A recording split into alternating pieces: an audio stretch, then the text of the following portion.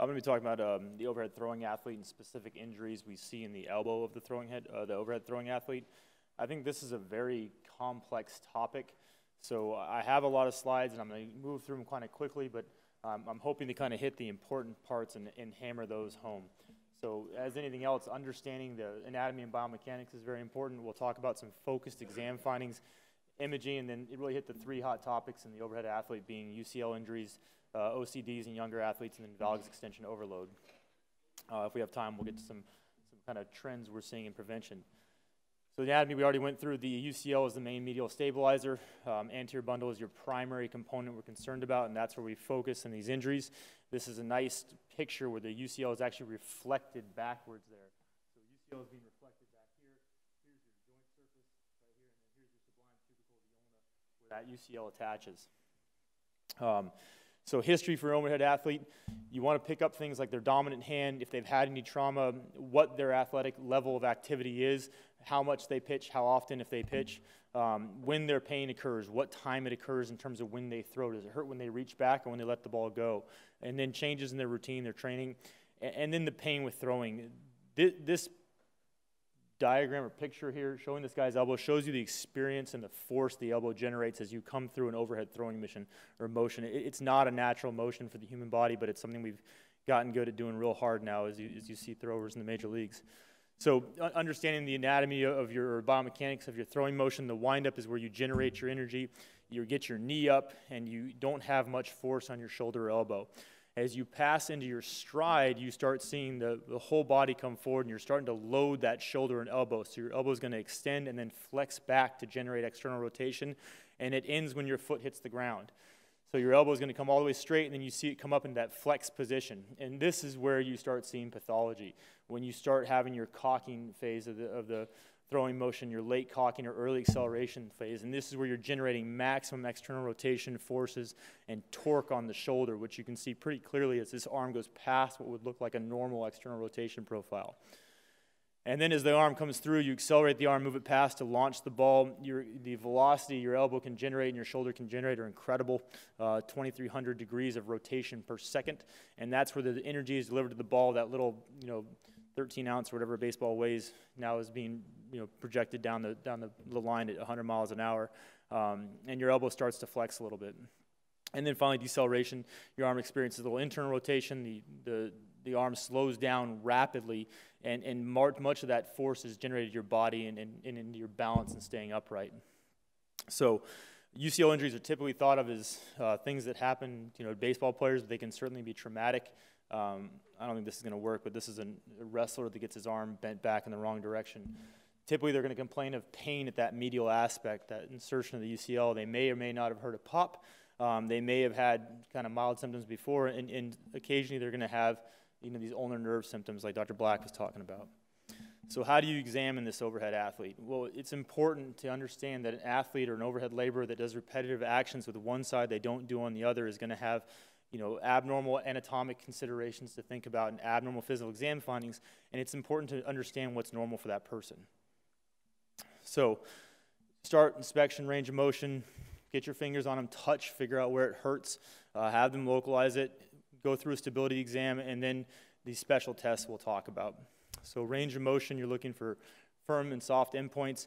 Really an extension, you should feel a bony endpoint as the olecranon tip locks into the olecranon fossa inflection, it should be more soft, that you're kind of limited inflection by your muscle mass and the things in the front. So if those endpoints are switched in terms of their feel, you got to think about what could be causing that. And then understand that people that do throw for a living or throw, you know, for a high level activity are going to have some degree of elbow flexion contraction, about half that population. Um, touching the UCL, the UCL is covered by your flexor and pronator muscles, so it's important to flex the elbow as that moves that muscle mass anteriorly uncovers the UCL and lets you palpate both the medial epicondyle and the, uh, the sublime tubercle or that crest on the ulna. Um, but touching there may not be the most specific test, but it starts to guide you in the correct direction in terms of the rest of your, your exams and, and what you're thinking about doing. So, stability of the elbow, stress testing of the elbow, understanding that the elbow is not a stable joint like Dr. Callahan was talking about. It wants to dislocate, and the things that are holding together are big, strong ligaments and these kind of passive bony uh, landmarks. So, when you examine someone's elbow, you have to unlock it. Um, the UCL provides that valgus stability, and that's most isolated in about 7 degrees of flexion. But it's difficult to examine someone's elbow because their shoulder gets in the way. So you have to place them in a stable position, and that can be prone, that can be supine, or you can do both to just kind of double check yourself. Um, the whole idea, no matter how you do it, is you want to abduct and, and, externally rotate the shoulder to lock it in place, and then flex the elbow about 20 degrees and apply this valgus stress. And you're, you're trying to feel if there's gapping or if they have pain when you do that. So you can do it with them upright uh, if you get a good feel on this, and you can kind of use your offhand to push on the side of the elbow and generate force. You can do it with them laying down if that makes it easier for you. Or I actually do it prone because I think it's the easiest way to lock their shoulder in place and they don't tend to look at you and try and anticipate what you're going to do if you put their face down on a table. Um, and then another maneuver that helps is called a, manu- a milking maneuver, which is essentially a, a, form of valgus stress. You're basically abducting their arm to about 90 degrees and then externally rotating. And all you really do is grab a hold of their thumb and put the back of, their, back of your hand behind their elbow and use that as a stress point to break their elbow back behind you. And, and that'll generate pain at that medial aspect as well, as well with, with UCL injuries. So anytime you're evaluating a patient with an elbow injury, you always start with a plain x-ray. It's the easiest way to see fractures, dislocations you know, heterotopic bone formation, any of the obvious things. But the next step usually is an MRI, and elbow MRIs have to be done with contrast. It's really that simple. Um, elite athletes, children, whatever you're doing, it's going to help you and increase your diagnostic criteria and your diagnostic ability. So, um, you know, this is what an elbow arthrogram looks like. This is your medial aspect of UCL. So you can see the medial epicondyle here, and this is the ligament running down here where it's torn off the sublime tubercle. So why don't we do contrast? Why do people show up in my office with an MRI without contrast? Well, the most common reasons in red. Whoever ordered the MRI didn't order it, and that can be primary care physician, that can be another orthopedic surgeon, that can be a variety of people. It's just not understanding that's available. Sometimes radiologists don't want to do it or it's not available in their practice or they're scared to do it or they don't have fluoroscopy or think it costs more. The, the cost is negligible when you talk about having to repeat MRIs for people that didn't get it. So it's something you should really be thinking about. And these are just some good pictures showing how the UCL can tear. Can tear proximally off the, the epicondyle. You can tear it in the mid substance, uh, right down the middle of the ligament. Or you can, the more common form is this, this tear off the, the distal aspect. And then there are these, these varieties, these partial UCL tears, where they talk about what's called a T sign. So the ligament isn't torn completely off, but you start to see this T shaped fluid right here. And you can really see that diagram. It's a sideways T, but it, it's definitely a T. Um, and that helps you pick up those partial injuries that may be questionable on an MRI. So, what do you do for a partial UCL tear? Well, there's certainly amenable to non-operative treatment, and not everyone needs a UCL. If you're not going to throw something for a living or you don't have a grossly unstable elbow, you know, when the pain goes away, the problems go away. But if you have someone that needs to use that elbow at a high functioning level, they need to have it fixed or they need to have it heal. So ways to get it to heal, rest, physical therapy, anti-inflammatories. There has been a lot of pub recently about PRP treatments and getting athletes back into play. Um, and, and, I think some of this overestimates the capability of PRP. A lot of these partial tears can heal on their own with proper rest and physical therapy, and adding something certainly doesn't hurt, but thinking that PRP is a be all end all to treat UCL tears is kind of dangerous territory. And I can just say, in my, my limited experience in practice and fellowship, I have seen a lot of people come in that have failed PRP injections. So there's no way that these, these reports of getting you know, 88% or, or one failure out of 34 athletes are, are really in line with what's actually going on out there, at least in, in my uh, experience. So uh, fixing the UCL, Tommy John surgery. this, is, this was first done in the 70s on this guy, Tommy John. That's where it bears its name from. He was a pitcher for the Dodgers in my hometown. And, and this guy, Frank Jobe, who did it out at UCLA, said, Look, the chance of this working is 1 in 100, but the chance of him never pitching again if I don't do something is 100%, so let's give him a shot. So he did this surgery that he kind of created, peeled all the muscles off, recreated it using a tendon from his wrist, and it took him two years, but he did get back to throwing, and, and now he's famous for all the reasons that he shouldn't be. He's famous for being a surgical candidate rather than the fact that he won almost 270 games, I think. So this is him when he was pitching. This is I actually met him at a T or a little league dinner, and he's a interesting guy. You just got to be careful what you say around him because he kind of goes off the deep end with some of the things he says. Uh, so UCL reconstruction, there's a variety of ways of doing it. The, the basic idea is you're taking a tendon graft, whether that's a palmaris tendon or a hamstring tendon, and you're going to elevate off those flexor pronator muscles that cover the UCL when you examine it, and you're going to create tunnels in the bone and recreate the ligament using these, these grafts. There's a way, there's three or four different ways to do it. Um, not one of them has been shown to be significantly better. It's more of a technique thing. And this is just a quick video showing a UCL reconstruction. Um, you know, basics and idea is you make a big incision similar to what you're doing for an ulnar nerve transposition, and that's actually typically the first step as you get down to the soft tissue. You can identify the small cutaneous nerve, this is what we're moving out of the way, that little strip coming across, and then you start getting up to the ulnar nerve, which you can see coming across right here. You free up the entire ulnar nerve. You can use a piece of um, essentially like tissue or, or, or, string to, to hold it up so you can really free up all of its attachments and get it completely out of the way.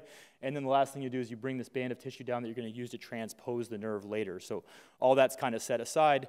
Then we scrape the muscle off, identify the underlying ligament by clearing all that muscle completely off, and now you're starting to see the joint underneath and then you split the diseased ligament in line. And it's not going to look 100% healthy, but as you get through it, you'll see there's diseased tissue underneath, and you'll just see the radial, or you'll see the uh, medial joint space poke through right here as you get through the ligament. Uh, then we drill tunnels to accommodate the bone. You're drilling a Y-shaped tunnel at the distal aspect, so two holes that intersect each other, and we do that by sticking this curved clamp in there to allow us to aim the second drill tunnel, so you're kind of aiming for the tip of the spear. Um, and then you'll see passing a graft through this. So this is a this is a cadaver graft. Typically, we take something from the wrist or from the from the hamstring tendons to use, but um, this is just a nice representation of how it goes through. And I'll, I'll kind of skip the rest of this because I think I'm going to run out of time if I keep going through it. But the basic idea is then you drill holes in the humerus and, and pass the graft and, and tighten it down whatever way you want to do it. So reconstruction results are excellent. It's a long recovery. Four and a half months to you start throwing, really a year to you're fully recovered, but they tend to do very, very well. The vast majority return to the level of play, and usually they don't, it's because they were in the tail end of their career or they were a high school senior and don't want to play anymore. Um, the biggest care you got to take is, is not to, sorry, that was out of order. Um, the biggest care you have to take is to make sure you're, you're properly reconstructing and not doing any damage while you're there. Now, a newer thing that's cropped up is these UCL repairs, the idea of taking the native tissue, leaving it in place if it's not a huge tear with a bony problem, and, and putting something to help back it up like a backstop. And this is the idea that Buddy Savoie came up with and, and was the original UCL paper. They tried repairing it, didn't work, but he said, what if I add something? So what he added was this, this collagen dip tape. So instead of taking out the diseased ligament, putting a new one, you repair the ligament underneath and then give it this backstop. And this backstop also has collagen impregnated in it, so it, it funds healing capability of that ligament to try and, and, get it to heal into place. And then it has this check rein to keep it from tearing again. And, and these are, are newer surgery that are really excellent because the results tend to be much faster recoveries. Pitchers can get back to throwing in six months as opposed to a year, and, and so far they've been excellent results. The only caveat with this is the results have been all in young athletes. So if you're treating young, healthy people, they tend to do a lot better than the, you know, the 35-year-old who's been pitching for 25 years. So this is just kind of indicating that reduced rehab time, lower complication rates, and they do very well. So we'll switch gears real quick and get one of the other topics, is valgus extension overload, which I think has a good correlation with UCL injuries. The basic idea is you have bony impingement of your elbow, usually at the back, a more medial aspect of it, and you, you overload that compartment and end up with an elbow that looks something like this, where you have these osteophytes or bone spurs forming back there. You get compression on the lateral side, which leads to over-tensioning the medial side, so that creates UCL injuries. Um, you lose your elbow's regular motion, and you end up with this problem where when you extend fully, you get this bony endpoint that's painful. So the way you test for it is just bouncing the elbow in extension. You bring them out fully straight and then kind of just bounce them and blot it over that, that elbow and it'll cause them pain as you bounce back and forth. So a really simple test to look for this problem. Um, and, and that's, that kind of brings up this, this uh, treatments for it. Usually non-operative treatment works relatively well. Anti-inflammatory strengthen the muscles around the elbow, but if you have to take them back for surgery, it's not a terribly difficult procedure. Typically can be done arthroscopically. You, the idea is you have this bump back here. When you get in with the scope and you're looking at the back, this is your olecranon. Um, and then this is that big piece of bone. You shave it out. Once it's clear, it typically doesn't come back, but you do need to treat them afterwards to make sure it doesn't. So they do very well with this. About 85% return to the level they were at playing. The, you can see their, their range of motion profile drastically increases. Obviously, you're taking out a bony check, so they should do quite well. And the only question is, what comes first? Is it UCL insufficiency or is it valgus extension overload? And that's something we don't know, but they tend to run in, in, sequence with each other. So if you have a patient you think has a UCL chair or valgus extension overload, you shouldn't miss the other. You should be looking for both and really you have to rule out the second one if you find the first. Uh, so last thing we'll talk about is osteochondritis dissecans or OCDs. Um, in the elbow, especially in younger throwing athletes, this is your little leaguer with pain in their elbow. Commonly, this affects the capitellum somewhere in that almost closed growth plate range of 12 to 14. Usually males, just because they tend to throw overhead, and females tend to be softball type throwers. Um, and then you can see it in gymnasts too. Basically, anything creates this repetitive micro trauma to the elbow that can lead to vascular insufficiency is kind of the root cause of it. So those are the typical athletes you see it in. Um, what you typically start with is an x-ray, and you can see it, oftentimes they pop up on an x-ray just kind of looking like something fuzzy in the joint or this non-congruent surface of the capitellum right here. And really, when you look at the radiocapitellar joint, it should be very congruent on all the, all the views you're looking at on an x-ray. And then usually the next step is getting an MRI, and you can see this is nice contrast MRI, and you, you see this problem with the bone sitting in that capitellar area. So here's another good example, 10-year-old with elbow pain, very clear OCD lesion on his capitellum. You can see his growth plates are still open in his radial head here and there's his, there's his lesion. And just looking at it through a couple more views, you know, seeing on a sagittal view, you can appreciate it here, radial head, growth plate, capitellum, and there's obviously a problem then on an axial, the same picture. So what do you do with these? Well, non-operative treatment tends to work very well, um, especially in open growth plates, which is what these, these kids tend to have. You, you take them out of pitching, they don't throw for three, four, five weeks, and slowly you progress them back to where they can be competitive again, and if they have no pain, say la vie, you know, let them, let them get back to it. If they have pain, then you got to start thinking about how to fix it. So when we talk about fixing them, you're looking for loose pieces in the joint. If they fail their conservative management, or if they have an unstable lesion, meaning a lesion where the, the articular uh, or the synovial fluid can get behind it and isn't going to give it good healing potential, or patients with a closed physis that just don't seem like they're going to be doing well with this. Open versus arthroscopic, both do very well. Um, I think the trend has been trying to fix these you know, put a screw or something into them to put the piece back in place. And really what we've realized is you don't have to fix them. Taking them out, you know, like, like you're seeing here, so this is that, that OCD, and then this is after it's been removed, and this is the subchondral bone that's now exposed on the capitellum. And then doing something else to initiate a healing response. And typically what that is is microfracture, which we've talked about in, other instances, but this is what it is. You have this bone exposed, you take this small pick, or now we're realizing it should actually be done with a small drill is better, and you make holes in the bone that will bleed, and that bleeding bone brings out marrow elements which will form fibrocartilage over that area, which isn't the same as articular cartilage, but for a non-weight bearing joint like the elbow, it does very, very well. Other options, if it's a really big piece, is you can do these these osteochondral transfers where you're taking usually cadaver tissue in the elbow or you can take it from inside the knee and you're putting these plugs of bone so you drill a hole and then fill it with these bone plugs that look like this to restore that, that articular cartilage. Um, the good thing is they all do very well. So kind of the red is the important things here. High rate of return to play. A lot of people just choose to play something else because they get worried about having young kids with elbow problems. Um, and, and usually they go back to the level they were at before their injury. So one last thing I just wanted to talk about I think is very important for the, the primary care aspect or the athletic trainers or physical therapists, people that are out in the community, is understanding that this is a problem. You know, UCL injuries in kids are going through the roof. We're seeing six or eight times the, the amount of surgeries and injuries as we saw years ago, and a lot of these kids can't play anymore after they have these injuries. So um, what's the problem? What's causing this? Well, this is, this is just youth and in high school pitchers and the, the ACL surgery or UCL injury rates that are going through the roof. So what, what, what's the problem? Why are we doing hundreds of these where used to only be doing a couple? Well, there's a couple risk factors. One is every parent thinks their kid's the next Major League Baseball player and puts them in five different teams and has them play year round because they think the more you pitch, the better you get. And that's not true. The more you pitch, the more you get injured. You know, kids have to be kids. They have to play sports, not sport. You need to do other things to condition your body and take the strain off the joints and the tissue as it grows and matures. If you're throwing all day long, you're just setting yourself up for an elbow problem. So, kids that pitch a lot, triple the injury risk. Pretty simple. They should have four months off of the year where they are not playing baseball. They can go do something else, play with their friends, ice skate, you know, do something different other than play baseball. Um, other things, increased innings, increased shoulder injuries. If we decrease pitch counts, if we bring in pitch count rules, it has been shown very clearly to decrease injuries. So it's a no-brainer to have pitch counts in Little League. No one's going to get a major league contract by being a good Little League pitcher. Um, this is just a nice retrospective study. 80 pitches a game, four times the risk of injury. Pitch eight months out of the year, five times. If you pitch tired, you're going to get injured. It's that simple. If your shoulder's tired and you're trying to throw, guess where the force goes to and all the strain? Goes right to your elbow, and there's your problem. So, last thing I'll talk about curveballs. Curveballs aren't dangerous. They used to be. We thought curveballs were the be all end all. When I pitched in Little League, I was told you can only throw two curveballs an inning or 10 curveballs a game.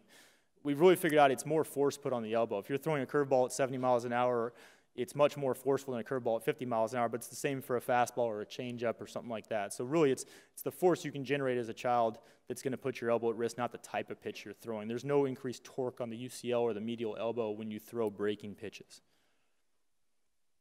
And then just some, some injury prevention things. Pitch counts are important. Rest after pitching is important, and then and then uh, uh, pitchers can't go to catchers. So these are some resources I put in there, just things you want to see. Um, these are websites you can go to, stop sport injuries, places you can learn about ways to prevent injuries and, and how kids should be managed. And just keep in mind when you're examining the elbow, take it easy, be calm, you'll find out what's going on.